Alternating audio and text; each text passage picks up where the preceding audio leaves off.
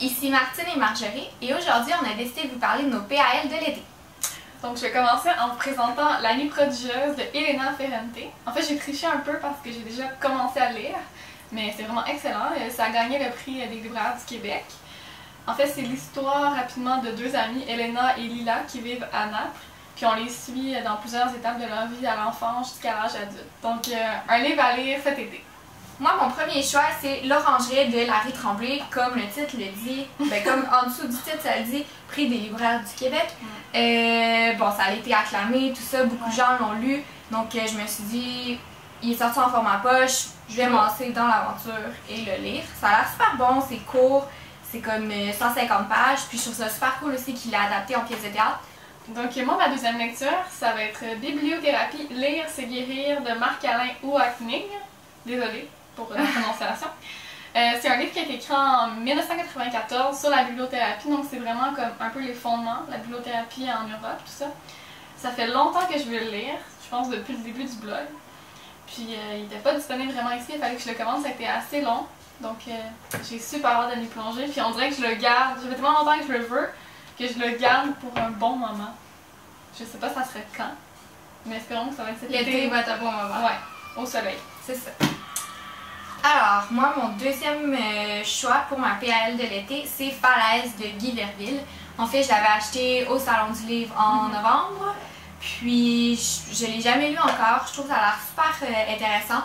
En fait, c'est une histoire de famille, euh, des enfants qui en veulent à, leurs parents, je crois, pour la façon qui ont été élevés.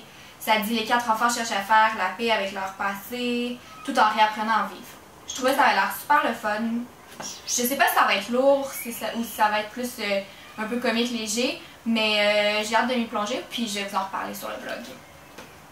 Donc ma troisième lecture va être Commando culotte. Euh, c'est un cadeau que j'ai reçu pour ma fête de Karina, donc euh, Karina, merci beaucoup.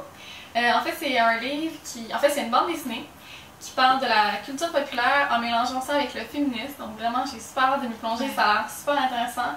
Je vais juste le feuilleter, puis c'est vraiment beau. je pense que Karina a vraiment comme j'ai dans le mille. C'est vraiment le cadeau parfait pour moi. Ça mélange deux de mes passions.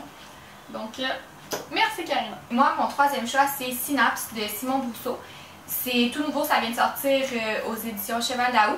On l'avait acheté ensemble pour euh, quand on a fait nos petites recherches pour le coffret de la campagne de socio-financement. Puis toi, tu l'as lu? Oui. Tu as trouvé ça tout bon? J'ai super, j'ai vraiment aimé ça. C'est pas de petits fragments, c'est comme pas une histoire continue. continue, mais Honnêtement, c'est super bien écrit, puis il y a comme vraiment des petites phrases, là, de, des perles. Bon, ben c'est ça, fait que euh, moi je trouvais ça aussi, justement, Martin m'a donné goût de lire, puis je me suis dit pourquoi pas, ça va bien se lire euh, en fragments, justement. Ouais, puis je pense qu'habituellement, Cheval Daou nous déçoit jamais. Non, c'est ça. Mm. On les aime bien. Ouais, c'est nos amis. Ils savent pas. Ouais. Il y en a bien des, des gens comme ça. c'est ça, nos amis virtuels. Euh, ma dernière proposition, c'est Manchot au chaud que j'ai reçu en service de presse des éditions Isatis. Je sais pas si je le prononce comme faux. Euh, c'est basé sur un fait, un fait véridique. C'est une, femme en Nouvelle-Zélande qui est vraiment tricotée pour les manchots. Donc c'est un livre qui parle d'écologie euh, de façon pas moralisatrice, mais vraiment pour solliciter euh, les enfants à, cette problématique. Donc j'ai très hâte de, de, le lire. Moi, mon dernier, le dernier item sur ma PAL, c'est The Creative Habit de Twilda Tharp.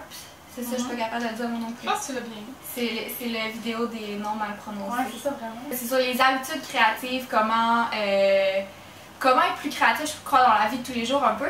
Puis euh, j'ai décidé de faire une série là-dessus sur le blog. En fait, j'ai acheté quatre livres qui parlent de créativité. Euh, c'est ça. Donc, elle, c'est en fait, Twilda, c'est une chorégraphe très reconnue aux États-Unis. Puis vraiment, elle a écrit un livre en faisant appel à d'autres experts euh, ou qui parle de comment utiliser sa créativité dans la vie de tous les jours. Donc euh, je crois que ça va être super intéressant, puis motivant aussi. Mm-hmm. Voilà. Voilà. Donc euh, on lira pas jusqu'à la cet été, là, mais c'était un petit Pour l'instant, pour conclure. C'est ça. Bye bye.